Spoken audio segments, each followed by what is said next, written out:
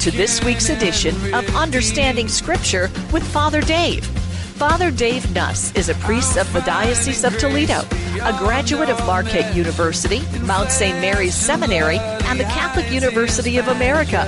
Father Dave examines readings that will be heard at this Sunday's Mass to help listeners better understand the Scriptures.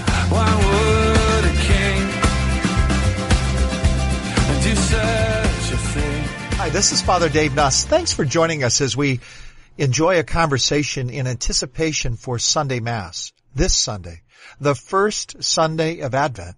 I don't know how many people in our 131 parishes throughout the 19 county diocese of Toledo realize that this Sunday is the first Sunday of Advent. It uh, inaugurates a, a new church year. At your church, different colors will be seen. Decorations will be different. The Gloria will not neither be sung nor spoken at masses, and there will be an Advent wreath with candles representing each of the four weeks of Advent. Advent from the Latin adventus means arrival. Well, who are we expecting to arrive? no less than the long awaited one, the promised Messiah of God. Certainly in the time of Joseph and Mary, Few people, actually, were expecting the Messiah.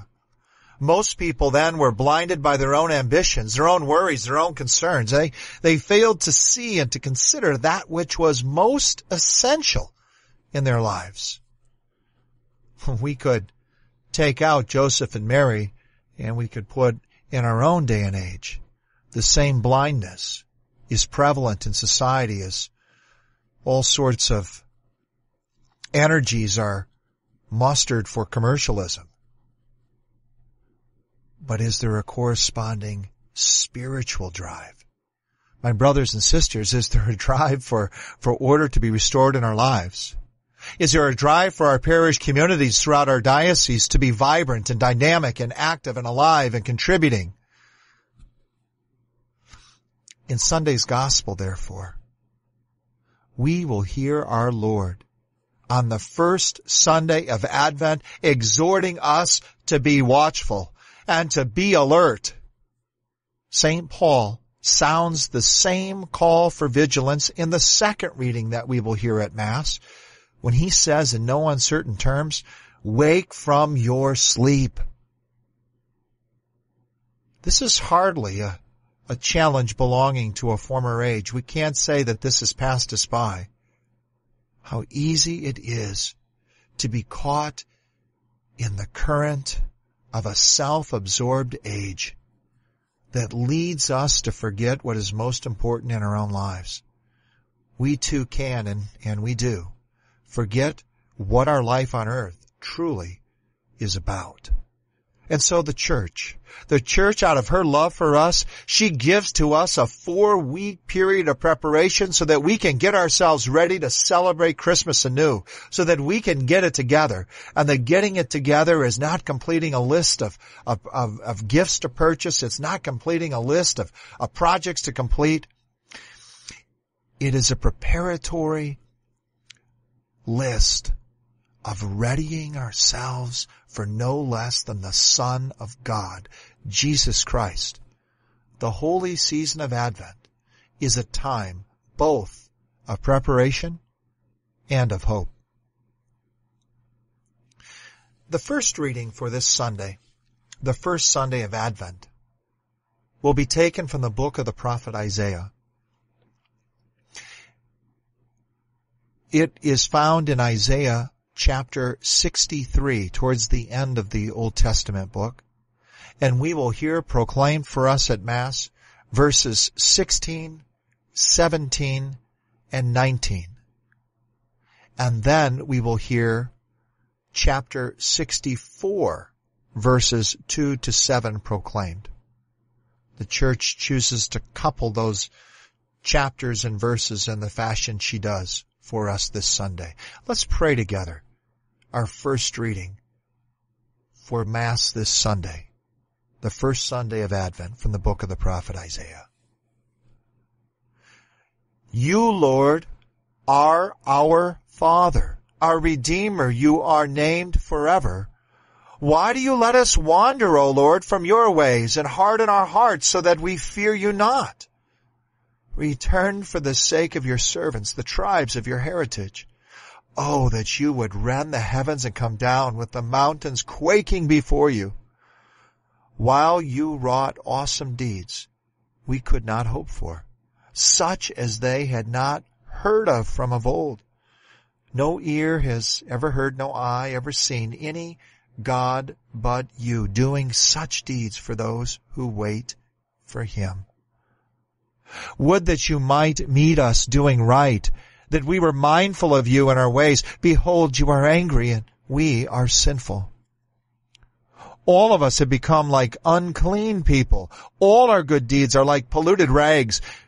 We have all withered like leaves, and our guilt carries us away like the wind. There is none who calls upon your name, who rouses himself to cling to you. For you have hidden your face from us and have delivered us up to our guilt. Yet, O Lord, you are our Father. We are the clay, and you, the potter. We are all the work of your hands.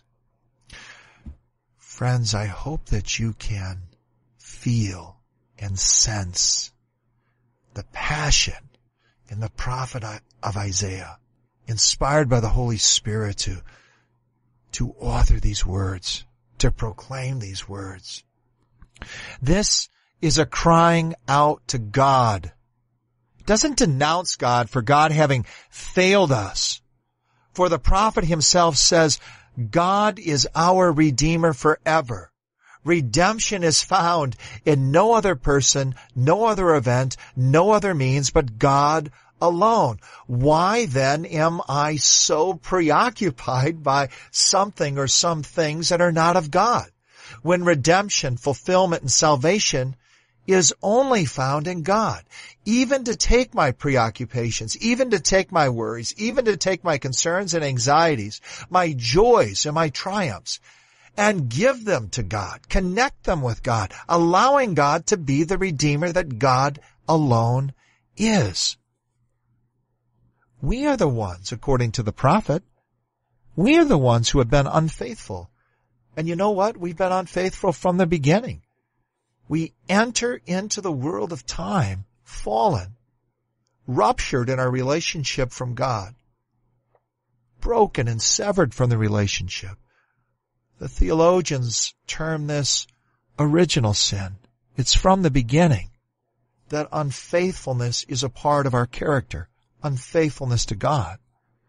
We are the ones so ensnared by worldly concerns that in the words of the prophet from chapter 64 verse 6, no one calls upon your name anymore and no one rouses themselves to cling to you.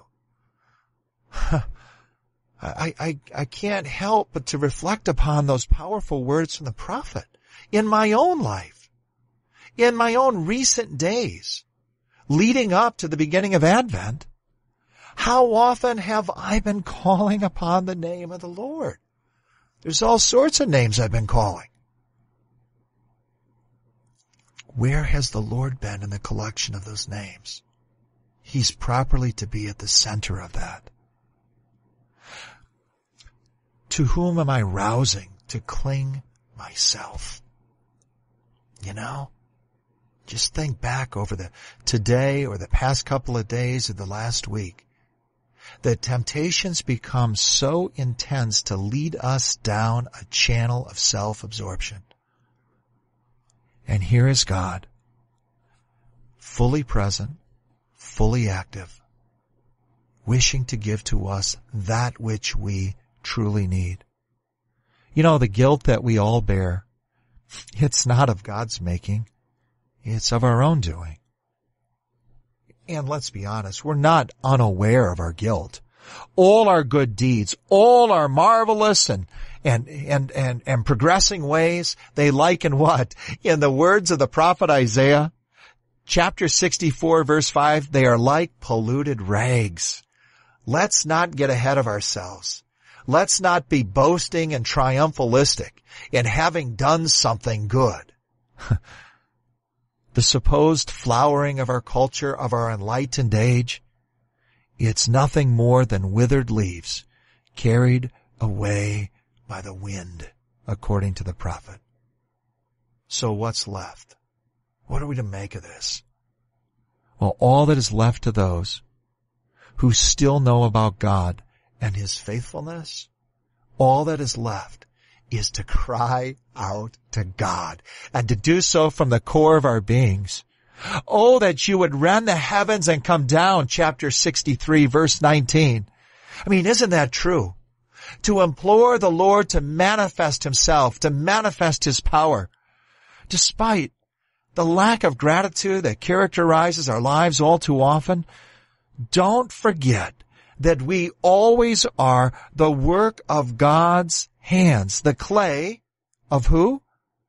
The potter, who can still reshape and desires to do so. Let God create you in precisely the way he wishes to do so. Advent is both a time for preparation and of hope. Let's take a look at the second reading. The second reading is taken from St. Paul's first letter to the Corinthians.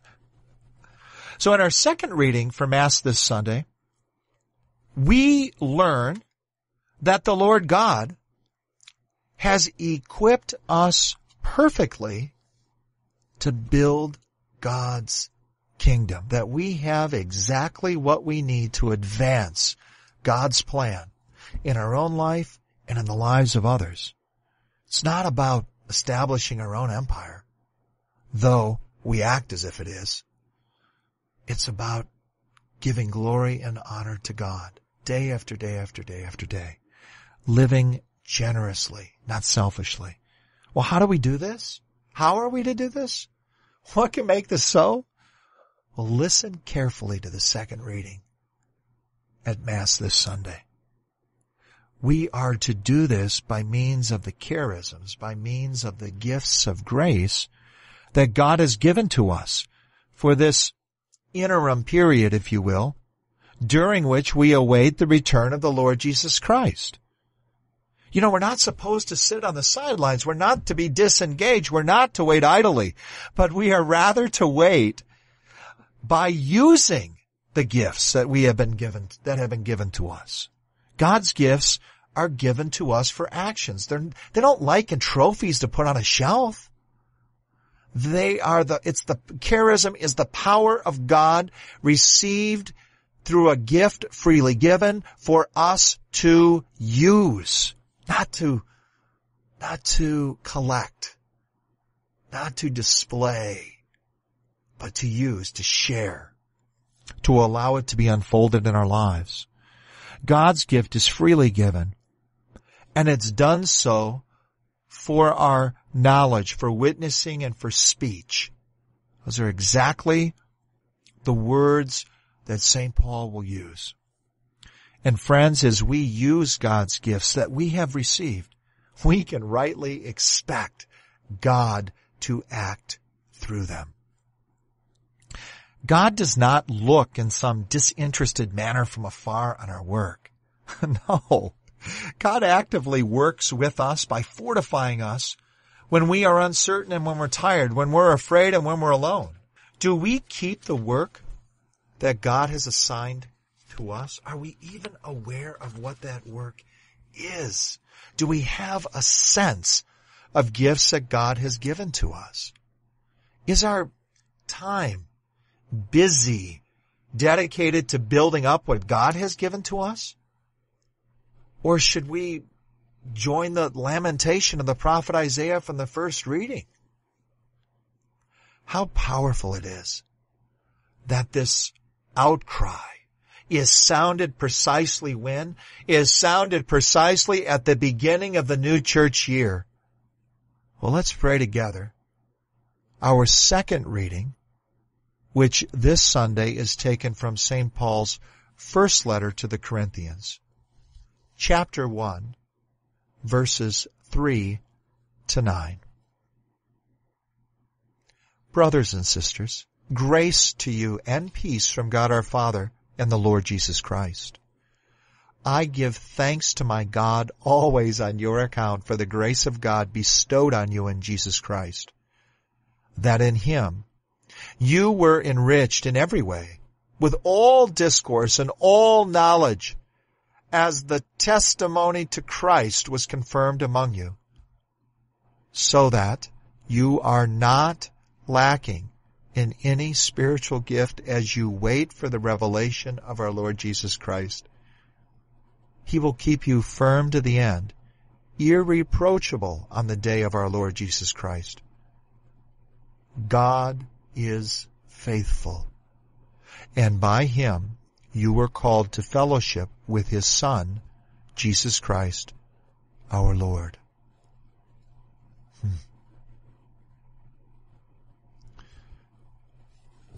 The gratitude that St. Paul has for his Christian friends in Corinth is a gratitude that we are to allow to increase in our own lives. Thankfulness comes from God and it grows as we experience, recognize, and realize the many blessings that we do receive, even in the midst of difficulties. How astonishing St. Paul's words are that we are not lacking in any spiritual gift. Verse 7. There is nothing lacking as gift of God in every single one of us. And perhaps if you want to throw up their hands, discouraged and say, I can't believe that. The difficulties are so great in my life. The truth of the matter, friends, is that nothing is lacking. Spiritual gift is given. God is present.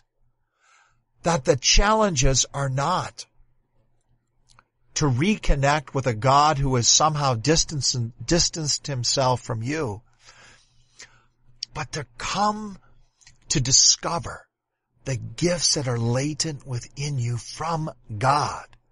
The gifts are there. God's freely given blessings are there.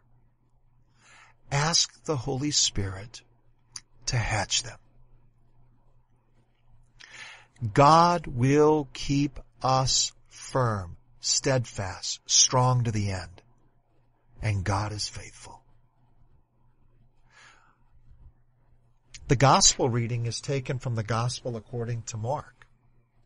And in this particular gospel reading, we are going to hear the call to be vigilant.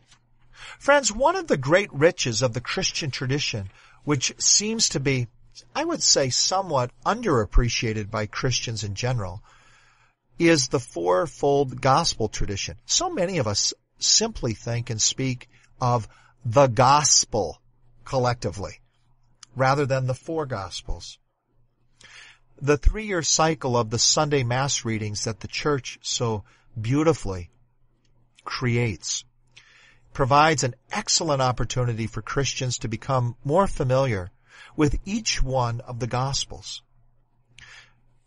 Matthew is associated with year A, Mark is associated with year B, and Luke is associated with year C. The Gospel of John is interspersed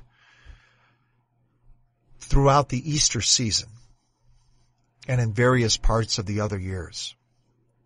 Well, the present ordering of readings for Sunday Mass in this brilliant resource known as the lectionary was designed for the very purpose of our hearing nearly all of the Gospels over a three-year period of time. Well, the Gospel of Mark will be read nearly in its entirety through the Sundays of year B, which begins this Sunday, which begins the first Sunday of Advent.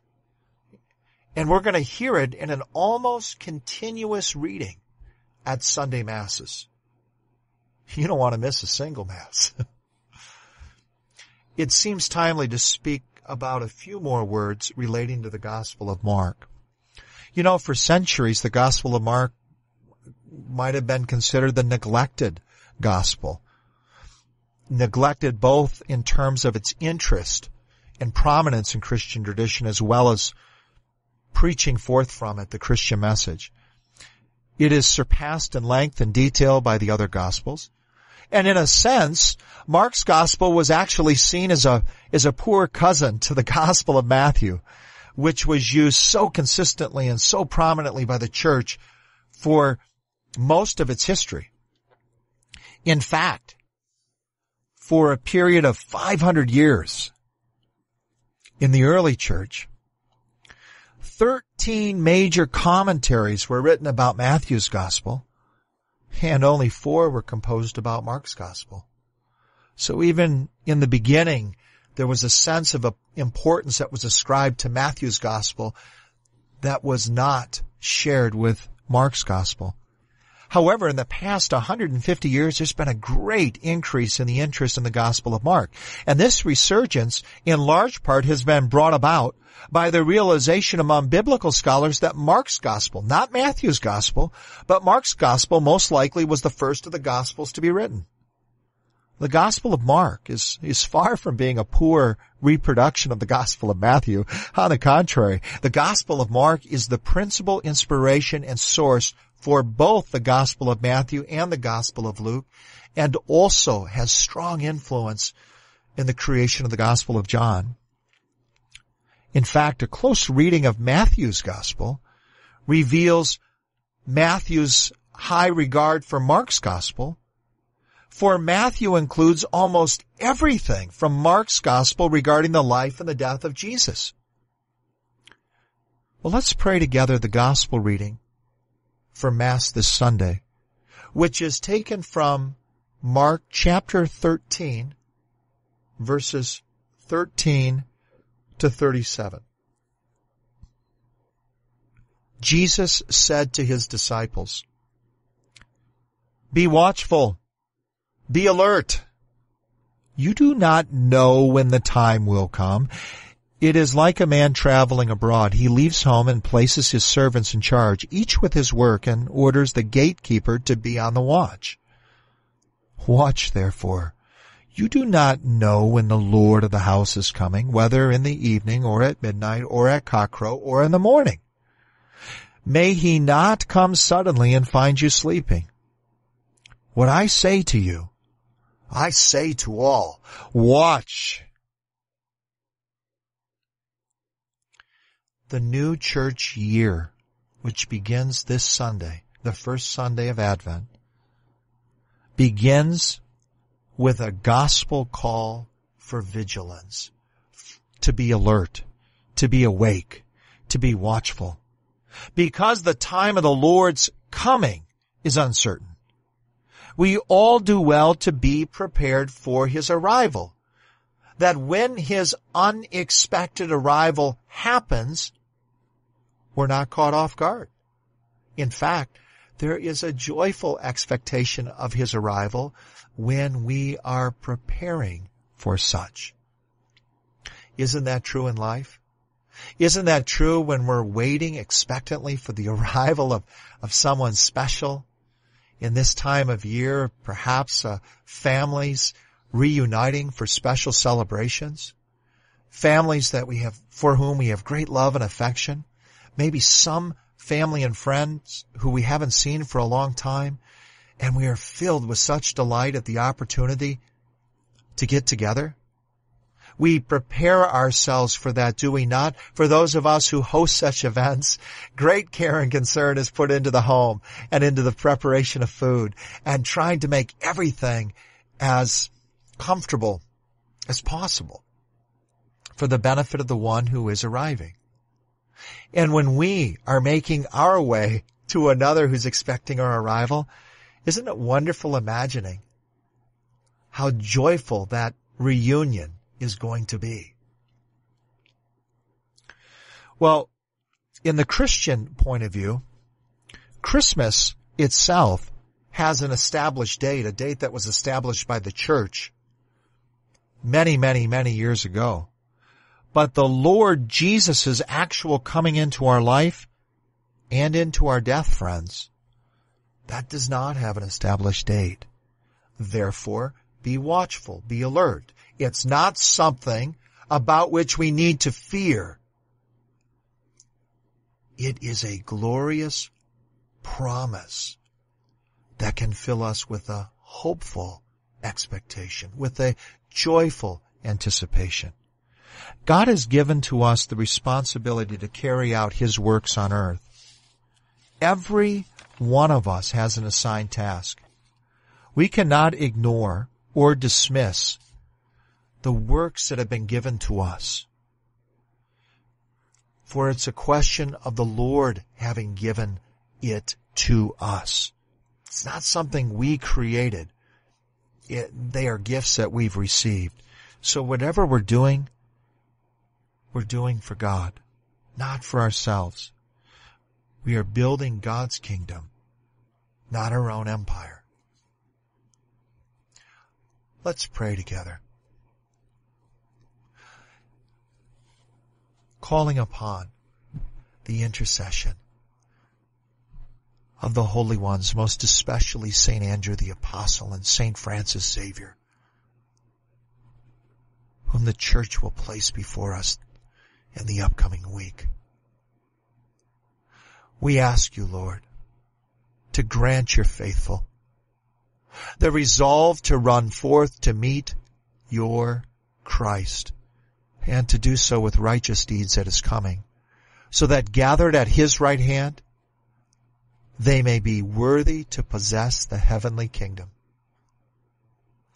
And may the great and the glorious blessing of Almighty God stream forth from the heavenly halls, come down upon you and your families and the parishes throughout the 19 county diocese of Toledo.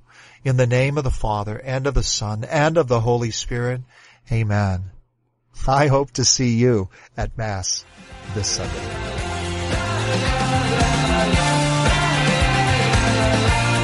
You for listening to Understanding Scripture with Father Dave, produced by Annunciation Radio. Listen again next time as Father Dave Nuss again reviews and explains the readings from Sunday's Mass.